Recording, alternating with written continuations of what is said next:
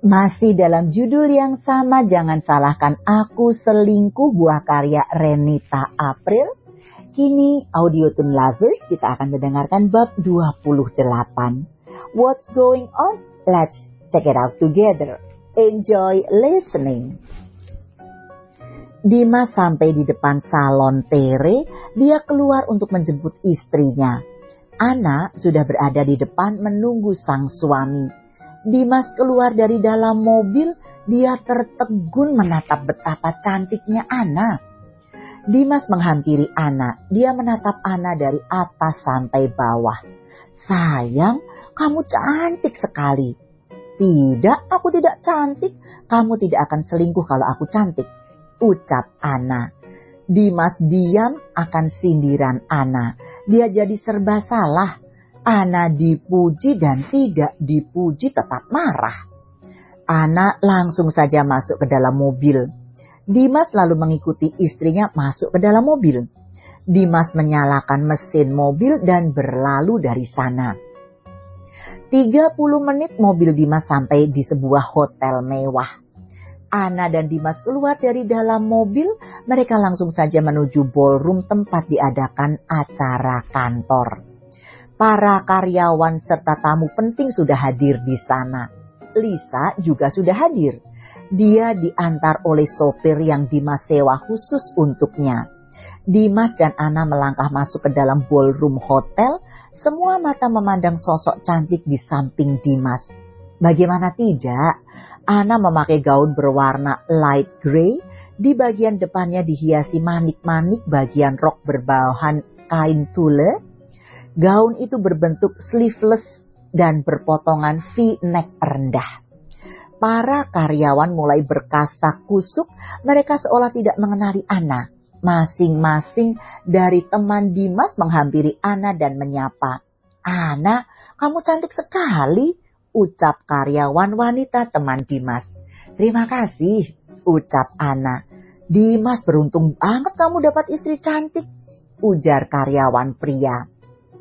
Lisa yang melihat Ana sangat kesal, para temannya malah memuji Ana. Dimas juga seolah tidak memperdulikannya.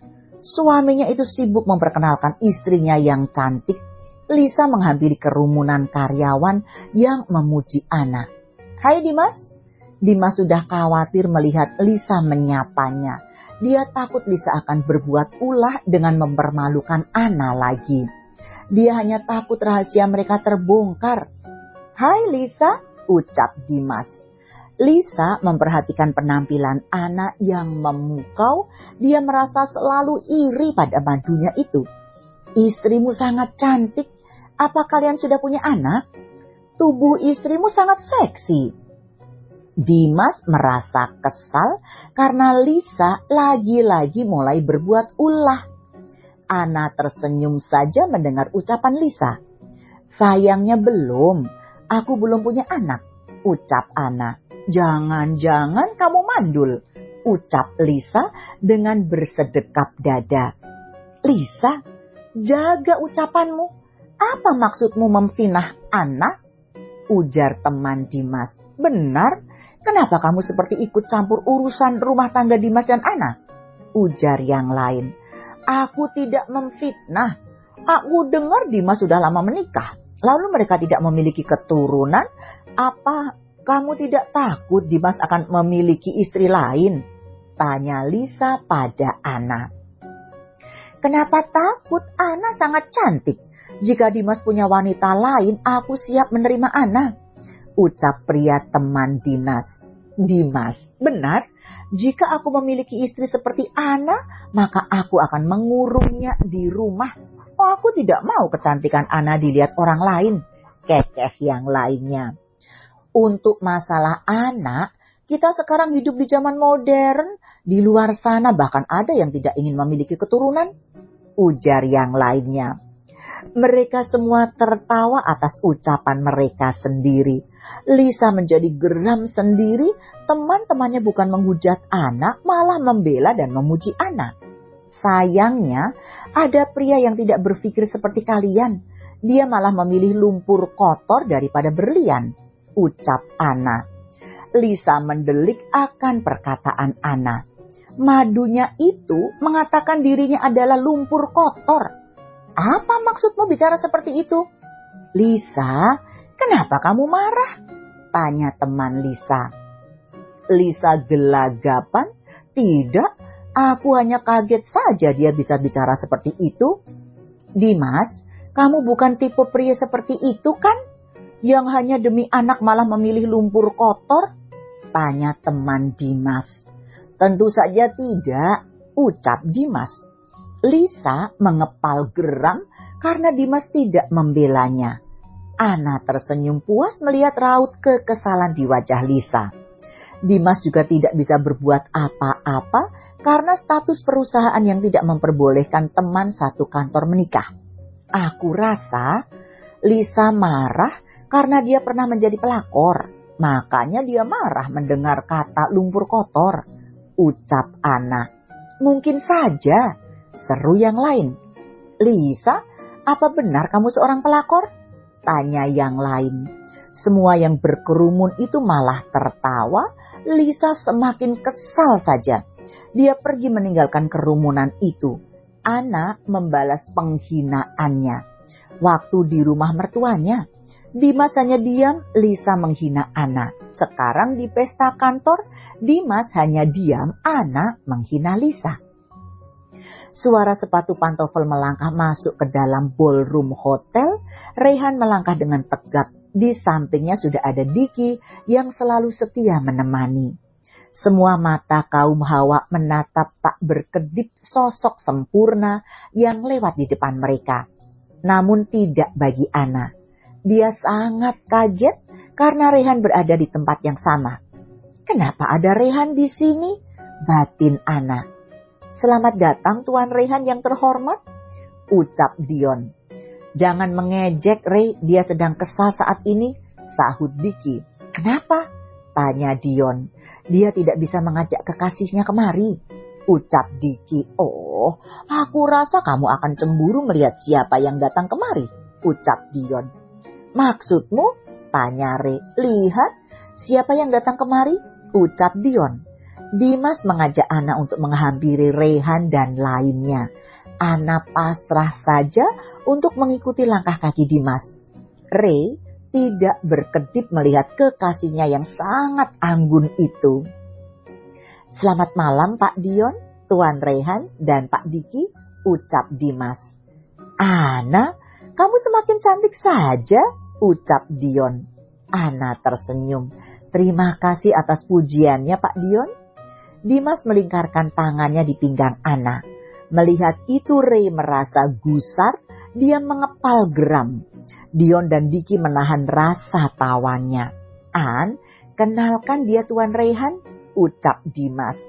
Ana mengulurkan tangannya pada Rehan, mata Rehan tak berkedip melihat Ana. Dia menatap tajam kekasihnya itu, Diki menyenggol lengan tangan Ray. Ray meraih tangan Ana dan berjabat tangan. Rehan, saya Ana. Pak, kami permisi dulu, ucap Dimas. Silakan, ucap Dion. Lagi-lagi Ray merasa cemburu karena Dimas merangkul pinggang Ana. Dia meremas tangan Diki dengan kuat. Tentu saja Diki merasa kesakitan. Sakit, Re. Kamu yang cemburu tanganku yang menjadi korban. Kesal Diki. Pantes saja Re kelepak-kelepak sama Ana. Dia saja sangat cantik begitu. Apa mata Dimas rabun ya? Sampai menikah lagi dengan Lisa? Gumam Dion. Beruntung sekali Dimas bisa punya istri cantik, ucar Diki. Benar Diki, Mana Ana seksi banget lagi. Aduh, ingin sekali aku merangkul pinggang Ana. Ucap Dion. Telinga Ray panas mendengarnya. Sahabatnya itu sengaja membuat panas suasana. Diam kalian berdua. Aku akan menghampiri Ana. Jangan Ray, sabar. Aku akan mengaturnya. Ucap Dion. Dion mengumpulkan semua tamu yang hadir. Dia akan membuat acara ini menjadi pesta dansa. Dion akan membuat Ray dan anak berdansa bersama. Semuanya kita akan mengadakan acara dansa. Kali ini Tuan Rehan akan ikut berdansa dengan kalian, kata Dion. Semuanya bertepuk tangan, para karyawan wanita sangat menantikan momen ini. Siapa yang tidak ingin bersama dengan seorang Rehan? Musik romantis diputar, semua sudah dengan pasangannya. Dimas dan Ana juga berdansa bersama. Dari jauh, Lisa cemburu melihatnya. Rehan juga sama, dia kesal sekali harus berdansa dengan wanita lain. Kalian semua, ayo bertukar pasangan, kata Dion dengan mic di tangannya. Lampu sedikit diredupkan, Dimas memutar tubuh Ana secepatnya. Ray menangkapnya, Ana mendelik karena Ray menjadi pasangannya. Ray berdansa bersama Ana, dia mencengkeram erat pinggang pacarnya itu. Ray berbisik di telinga Ana. Aku tidak suka dia menyentuhmu. Kamu cemburu, dia masih suamiku, ucap Ana. Aku akan buat hubungan kita diketahui oleh semua orang yang hadir di sini, ucap Ray. Ana mendelik mendengarnya. Jangan gila, Rehan. Ray mencium bibir Ana Seketika lampu menjadi padam, tidak ada yang melihat mereka tengah berciuman. Ray melepas pagutannya saat lampu menyala. Ana tidak percaya jika Ray bisa berbuat nekat. Acara dansa telah selesai, Dimas datang menghampiri Ana. Ana, ayo kita pulang. Dimas beralih pada Ray. Tuan Ray, kami permisi. Oh, silahkan, ucap Ray. Dion dan Dika menghampiri sahabatnya itu.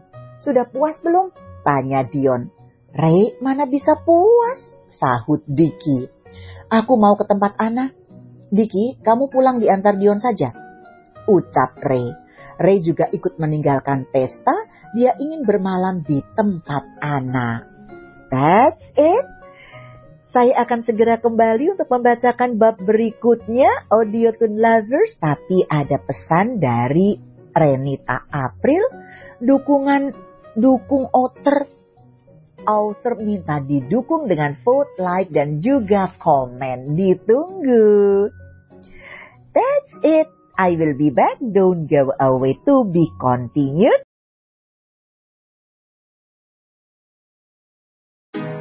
Kalau kamu mau dengar audiobook lebih banyak dan gratis, segera download AudioTune